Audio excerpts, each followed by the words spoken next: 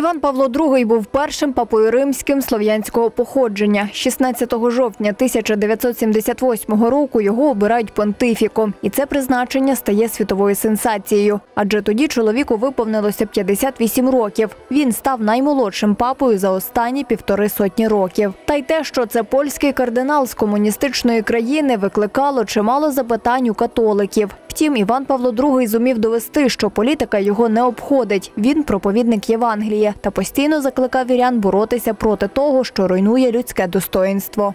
Він був не тільки церковним діячем, він був е, людиною освіти, науки, поезії, драматург, тобто людина великого спектру. Він відомий як не тільки як філософ, але людина, яка боронила прав і гідності людської особи від моменту зачаття до її натуральної смерті. Його понтифікат тривав 27 років. Іван Павло II був багатогранною особистістю. Він знав більше шести мов. Став відомим завдяки сотням опублікованих матеріалів, серед яких були і філософські праці, і вірші, і навіть п'єси та поеми. До того ж, понтифік постійно подорожував і з пасторським візитом побував майже у всіх країнах, де є католики. Всюди, де папа приїжджав, приїжджали паломники з різних країн і з, різних міст. Навіть існує і е, факт, що папа Йоанн Павло II – це особа, яка найбільше зібрав людей під час одного зібрання.